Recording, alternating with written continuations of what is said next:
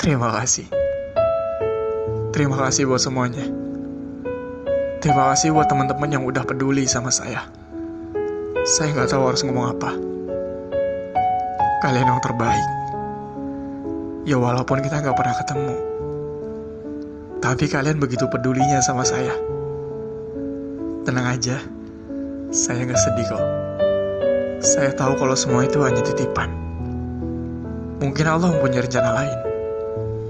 Karena dia ingin memberi sesuatu yang lebih baik daripada kemarin. Saya sedih, saya terharu, karena kalian begitu antusias nyemangatin saya.